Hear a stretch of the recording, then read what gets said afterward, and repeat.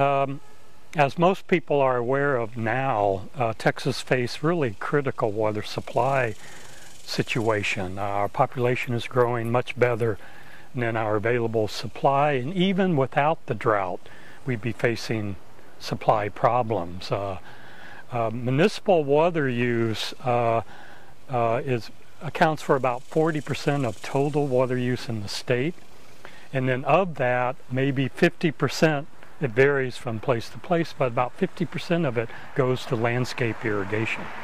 So proper irrigation, conservation irrigation is one of the cornerstones of Texas's strategy on to meet, to meet its water supply uh, needs going on into the future. In the Water My Yard program, what we're trying to do is uh, uh, get rid of the barriers that keep most people, like homeowners, from using science-based methods to plan their uh, outdoor watering. And so we've created a website, watermyyard.org, O-R-G, and we do two things on it. One is we have it's a visual uh, interaction system. You can go on there and, and, and using visual indicators, you can select your irrigation system, etc. And basically what you do is you go to a map that shows the North Texas uh, Municipal Water District and you click on your area which is highlighted on the map and then that and then from there you go into a setup screen that where you pick your type of irrigation system you have or you enter in your precipitation rate. And then from there it gives you run times, how many minutes to run your system that week and then you enter your email notice and every Monday you'll get an email that tells you how many minutes to run your irrigation system. It automatically incorporates any rainfall that you've gotten so you have the current best recommendation.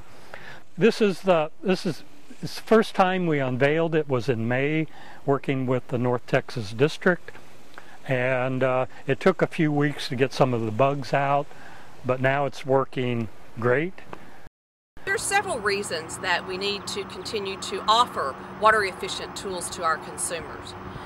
One, we're faced with ongoing drought conditions, and secondly, we've lost 28% of our supply from Lake Texoma. In order to restore that Texoma supply, the district is constructing a $300 million pipeline project. The water efficient tools that the district provides to its consumers is watermyyard.org. This is a partnership with the Texas A&M Extension Service. WaterMyYard.org will provide you how much water you actually need to be applying to your landscape to remain healthy.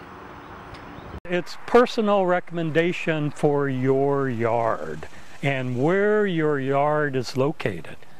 You know, because uh, the wind may vary a little bit. Some places get more rainfall. You know, you get a little bit more sun, sunlight. And so with Water My Yard, you get a recommendation for your specific location, your yard on that street in that part of the city. Studies have shown that consumers overwater their landscape and more than 50% of that water is wasted. By utilizing this easy, simple tool, watermyyard.org, you will know how to be water efficient.